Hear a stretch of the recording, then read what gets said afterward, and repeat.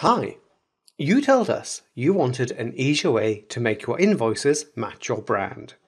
Well, now you can do this straight from the invoice itself.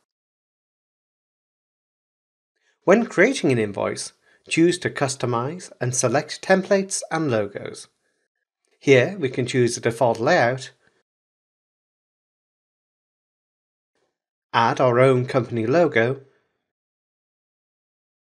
and even select a theme colour to reflect our brand.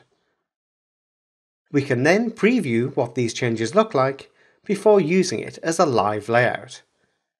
This will give invoices a personal and professional touch. For further information and more in-depth courses, visit Sage University at www.sageu.com.